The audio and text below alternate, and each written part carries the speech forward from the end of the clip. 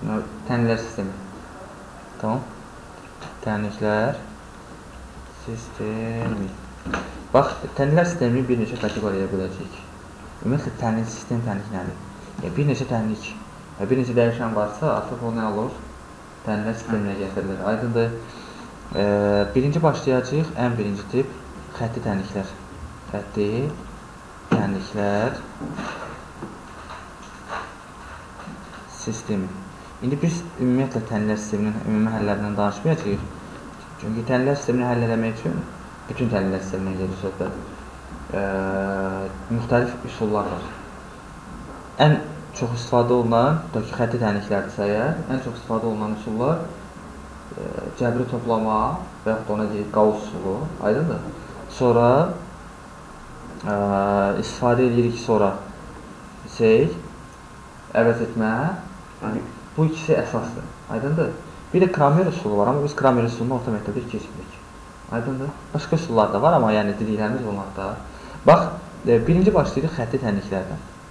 Tutaq ki, 2 dənə xətti tənlik vermişəm. A1x gəlsin B1y bərabərdir C1. Sonra A2x gəlsin B2y bərabərdir nəyə? C2-yə. Tamam? İndi bu iki tənliklər sisteminin ə, həlləri üçün araşdırılanda 3 dənə mümkün hal olur. Birinci hal. Birinci hal nədir? Ə, əgər A1 bölünsün A2 bərabərdir B1 bölünsün B2 o da bərabərdir C1 bölünsün C2 olarsa belə halda tənliklər sisteminin sonsuz sayda həlli var. Sonsuz sayda həlli var. Bu nə deməkdir? Bax, ə, əslində müstəvi üzərində hər bir xətti tənlik bir dənə nəyə əmələ gətirəcək? Düz xəttə əmələ gətirəcək. Başa düşdünmü? Bax, tənlik sisteminin hər bir tənliyi, bax bu da olsa, bu da olsa fərqi yoxdur, bir dənə tənlik düz xəttə əmələ gətirəcək. Bu düz xəttlərin paralelliyi halıdır. Aydınmı? Yəni tutaq ki, bax bu A1x gəlsin B1y gəlsin. Bərabərdir C1 Sonra A2x gəlsin B2y, o da bərabərdir C2-yə. Bu paraleldir deməkdir. Aydındır necə? Yəni hansı hala baxırıq? Paraleldirlər. Evet, deyirlər. Aydındır. Beləcək ki, məsəl üçün düz xəttin tənlikləri verilib. A-nın hansı qiymətində ya da M-in hansı qiymətində nəsə belə bir şey. Düz xətlər paraleldir. Başa düşdü bunu? İkinci hal. İkinci hal nə olacaq? A1 bölünsün A2 bərabərdir B1 bölünsün B2 fərqlidir nədən? C1 bölünsün C2-dən. Bu halda deyəcəyik ki, tənliklər sisteminin həlli yoxdur. Aydınmı? Bir dənə burada, burada paralel yox, burada olacaqlar nə? Üst-üstə düşəcəklər. Elə bir ki, bax, ə, belə deyim də sizə. Paralellik buradadır. Çünki heç bir ortaq nöqtələri yoxdur. Burada sonsuz həll olduğuna görə, sonsuz həll olduğuna görə bunlar üst-üstə düşəcəklər. Üst, üstə düşürlər. Yadda qalar.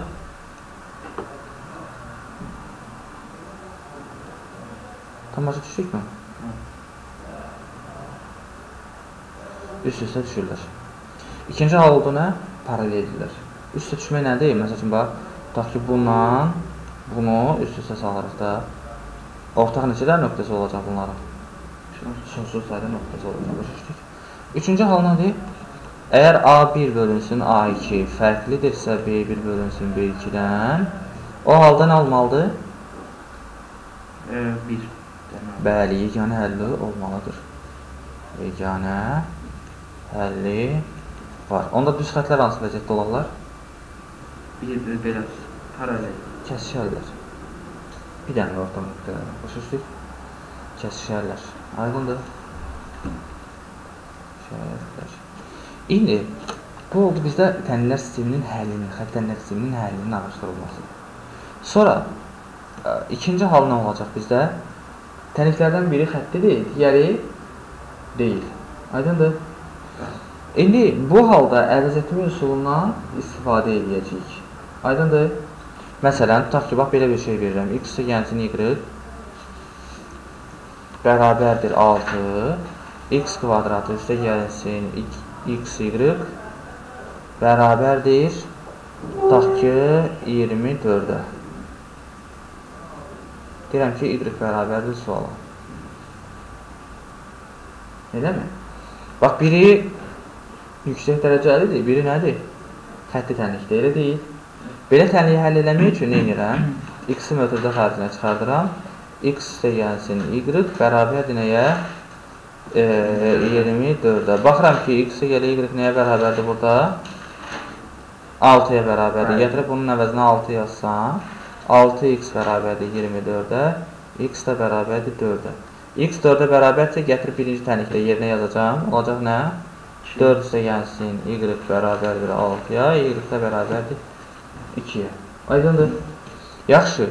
Bir-birdən hər ikisi yüksək dərəcəli olsa, məsələn, belə bir nümunəyə baxaq. Tutaq ki, x, y bərabərdir 3, x kvadratı isə gəlsin y-in kvadratı bərabərdir. Nə olsun məsələn? 10 olsun. Eləmi? Deyirəm ki, x və y-i tap. Tap. Necə eləyərik bunu da? Bax. Hani bunu açarıq da ki. E, birinci yerdə duranı 2-yə vuraram. Olar. Onda bunu da 2-yə vurmaq məcburiyyətindəyəm, elədir? Hə. Onda nə olacaq? 2x y bərabərdir 6-ya. X kvadrat isə gəlsin y kvadrat bərabərdir nəyə? 10-a. Düzdür? Tərəf-tərəfə toplamaq olarmı bunları? Neçə olacaq? x kvadrat plus 2x y isə gəlsin y-in kvadratı bərabərdir 16-ya. Düzdür? Burada nə alınır? x plus y-in mötərizə kvadratı bərabərdir 16-ya. Elədir? Aynen. İndi burada iki dənə mümkün hal var. x plus y bərabərdir plus minus nəyə? 4. Düzdür? İndi biz burada nə edə bilərik? Gətiririk bu qiymətləri qoyuruq burada yerinə, birincidə yerinə. x y bərabərdir 3, x yəni y bərabərdir nəyə? 4-ə. Birinci hala baxıram. Aydındır? Burada nə etmək olar? Yardım. Məsələn burada. İndi bəzən məsəl üçün x y y-in qiymətini soruşacaq sizdə o rahatdır da. İndi ayrı-ayrılıqda həll eləmək istəsək, bunlardan birini əvəz edəcəyik. Tutaq ki, bax, x bərabərdir 4 çıxılsın y-ə, düzdür? Gətirib x-in yerinə qiymətini yazıram, 4 çıxılsın y, vurulsun y bərabərdir nəyə? 3-ə. Başa düşdün? Aldıq mı burada kvadrat tənlik? Nə alıram? E, mənfi y-in kvadratı üstə gəlsin 4y bərabərdir 3-ə. Hamısını keçirdək bir tərəfə. Olacaq nə? y-in kvadratı çıxılsın 4y çıxılsın, üstə gəlsin nə? 3 bərabərdir nəyə? 0-a. Düzdür? Bəli. Buradan e, kvadrat tənliyi aldıq mı? Köklər nədir bunun? 3 nə? y bərabər nəyə? 1-ə. Düzdür? Onda x-lar nə olacaq? y 3-ə bərabər olanda x neçə olur? Müəllim x. 1. Bəli. x, y 1-ə bərabər olanda x neçə olur? 3. Bu birinci hal. Bir də nə edəcəyik? Eyni şeyi ikinci üçün, mənfi 4 üçün də edəcəyik. X-ə görə Y-ə mənfi 4 götürərik. Aydın necə? Bəli. Mənfi 4 götürəndə nə olacaq? Elə bir bu mənfi olacaq. Da başa düşdünüz necə? X vurulsun Y bərabərdir 3. Sonra X gəlsin Y bərabərdir mənfi 4. Buradan əvəzləmə aparsaq, eləmi? O X nəyə bərabər olacaq? E, mənfi Y çıx 4-ə, düzdür? Gətirib burada yerinə qoysaq, mənfini çıxardıram ümumiyyətlə mötərizə xaricinə. Y isə gəlsin 4, vurulsun Y bərabərdir, hə, 3-ə. İndi burada Y-in yerinə nə yaza bilərəm? Mənfi 1. Bax. Buradan Y bərabər olacaq mənfi 1-ə, bir də Y bərabər olacaq nəyə? Mənfi 3-ə. Başa düşdü necə? Bəli. İndi eyni qayda ilə x-lar da e, buna uyğun qiymətlər alacaq da. Y-imiz mənfi 1 olanda x-imiz olacaq mənfi 3. Başa düşdün? E, y-imiz mənfi 3 olanda x-imiz bərabər olacaq mənfi 1-ə. Başa düşdün? Deməli 4 dənə həll aldıq. Bunları aldıq, bir də bunları aldıq. Başa düşdün? Ə, bu oldu hər ikisi 2 dərəcəli və ya çox dərəcəli olan tənliklərin həll olunması. Tənlər sistemi əslində yəni bu qədər belə deyək də. Aydınmı? İndi orada tənliklər olacaq, ayrı-ayrılıqda tənliklər olacaq, artıq onları ayrı-ayrılıqda baxmaq lazımdır. Başa düşdün?